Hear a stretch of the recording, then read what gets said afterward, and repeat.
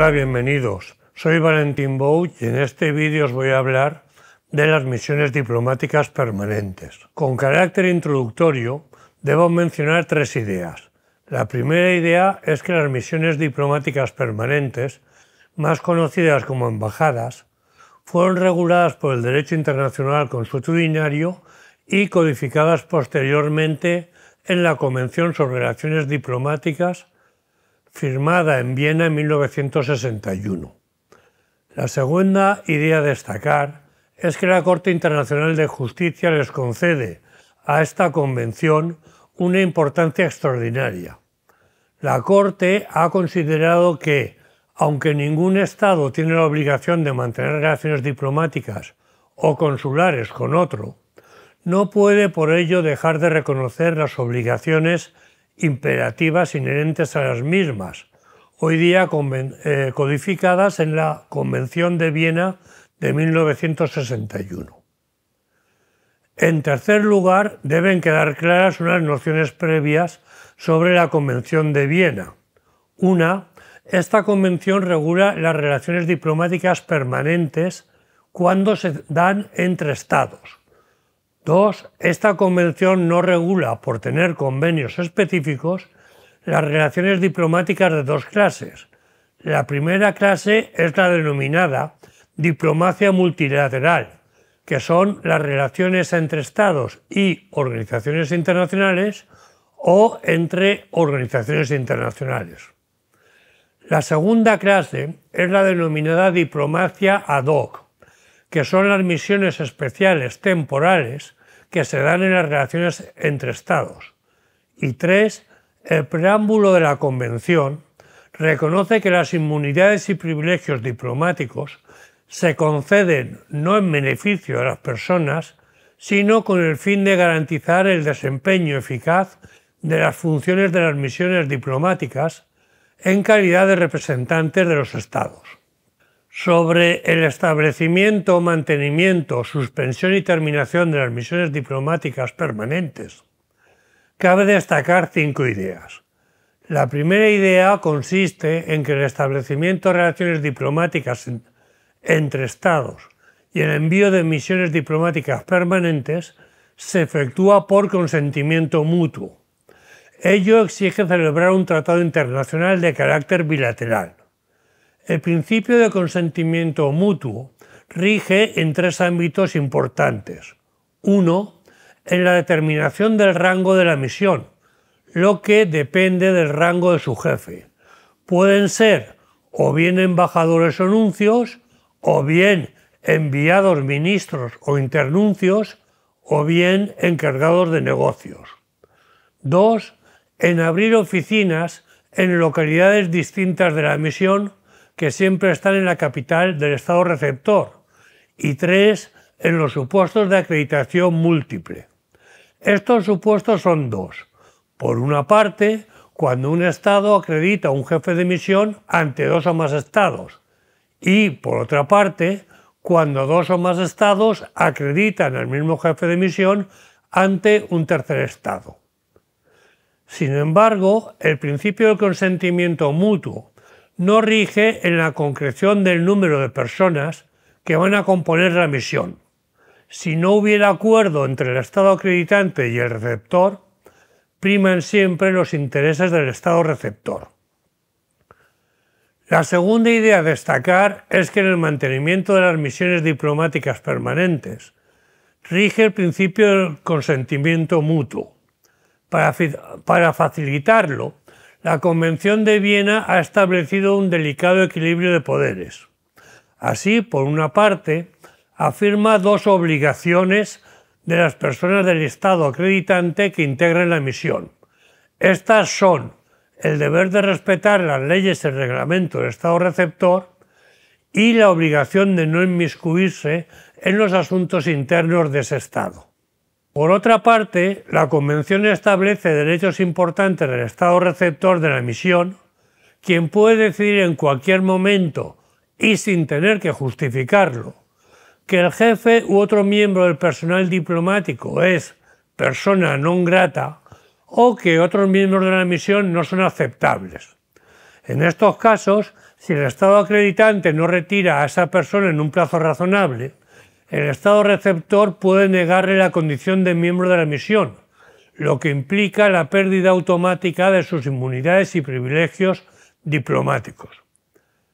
La tercera idea a destacar se refiere a la suspensión y terminación de las misiones diplomáticas.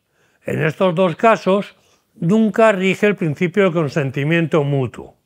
Siempre habrá una decisión unilateral de suspender o dar por terminada una misión diplomática. Estos dos supuestos tienen efectos distintos. La suspensión, que es de carácter provisional, por regla general, aunque no siempre, tiene efectos recíprocos. Sin embargo, la terminación, que es de carácter permanente, siempre tendrá efectos recíprocos. La cuarta idea consiste en señalar que la Convención de Viena no regula las causas de estos dos supuestos. La suspensión podrá ser por actos inamistosos, por problemas económicos, etc. La terminación significa la ruptura de relaciones diplomáticas. Podrá ser por 1. el estallido de un conflicto armado entre los dos estados. 2. la desaparición del estado acreditante o del estado receptor. 3. El no reconocimiento del gobierno de facto de uno de ellos. 4. por razones económicas, etc. La quinta y última idea a subrayar es que la Convención de Viena sí regula algunas de las consecuencias de la suspensión o terminación de las relaciones diplomáticas. En este sentido, la Convención establece la obligación del Estado receptor tanto de facilitar la salida de su territorio como de respetar y proteger los locales, bienes y archivos de la misión, aun en el caso de conflicto armado en ambos supuestos. La Convención de Viena contiene una enumeración abierta de las principales funciones de la misión diplomática permanente, ya que éstas consisten principalmente en uno, representar al Estado acreditante ante el Estado receptor, dos, proteger en el Estado receptor los intereses del Estado acreditante y los de sus nacionales dentro de los límites permitidos por el derecho internacional. Tres, negociar con el gobierno del Estado receptor. Cuatro, enterarse por todos los medios lícitos de, de las condiciones y de la evolución de los acontecimientos en el Estado receptor e informar de ello al gobierno de su Estado. Y cinco, fomentar las relaciones amistosas y desarrollar las relaciones económicas, culturales y científicas entre el Estado acreditante y el Estado receptor. Además, la Convención de Viena permite que la misión diplomática ejerza también funciones consulares. De hecho, en la totalidad de las misiones existe en su seno una oficina consular del Estado acreditante. Sobre la inviolabilidad, inmunidades y privilegios diplomáticos la Convención de Viena distingue entre los que son propios de la misión diplomática permanente y los que afectan únicamente a las personas físicas que componen la misión. Respecto a la misión diplomática permanente, gozan de los siguientes cinco privilegios.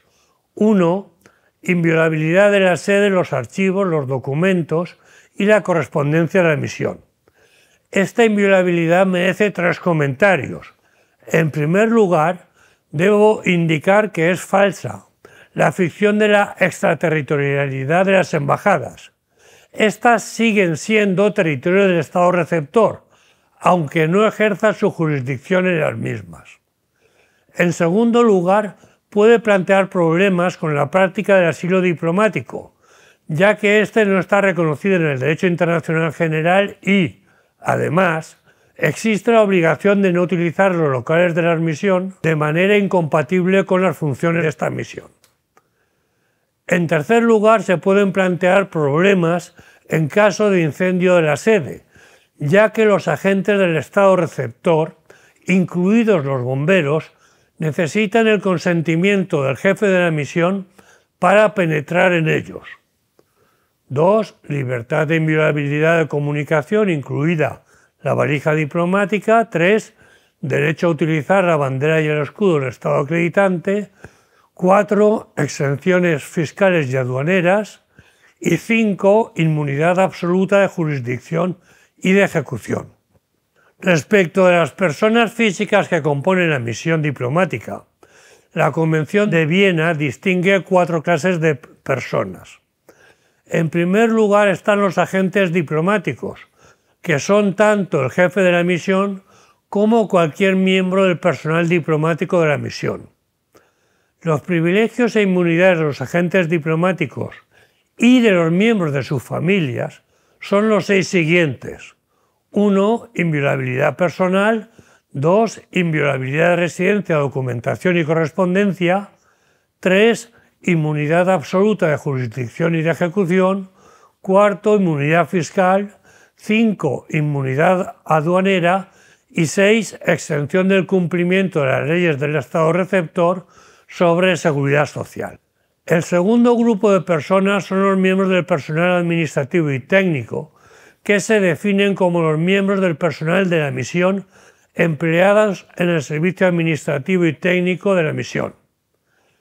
Los privilegios e inmunidades de estas personas y también de sus familiares son los mismos que para los agentes diplomáticos, pero con dos diferencias importantes, ya que, por un lado, su inmunidad de jurisdicción civil y administrativa será relativa, no así la penal y por otro lado, su inmunidad aduanera será solo para los objetos de la primera instalación. El tercer grupo de personas son los miembros del personal de servicios domésticos de la misión diplomática.